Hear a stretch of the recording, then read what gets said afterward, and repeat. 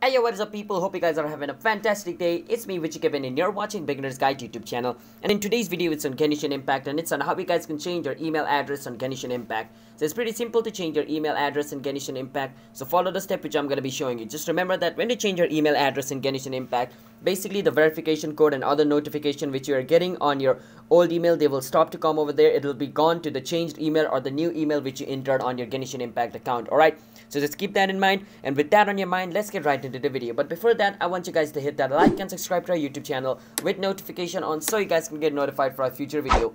And if you guys have any question, you can ask us in the comment. I'll be happy to answer you guys. Let's jump right into the video.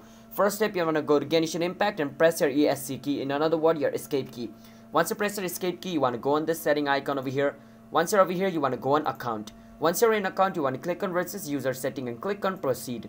Once you click on it, it's going to take you to your Genshin Impact's account setting over here just like this. Once you're over here, you can see this email. You can click on modify link on your email. Once you go over here, you want to click on send code and you want to verify you're a human just like this. And after you verify yourself as a human, it's going to send a verification code to your present email of your Genshin Impact. So you have to go to your email to check it out. So I'm going to go to my email to check it out. As you guys can see, Genshin Impact has sent me this code. So I need to copy this code over here and paste it over here just like this and click on next and if the code is correct it's gonna take you to the page where you guys can enter your new email. Now you guys need to enter your new email over here.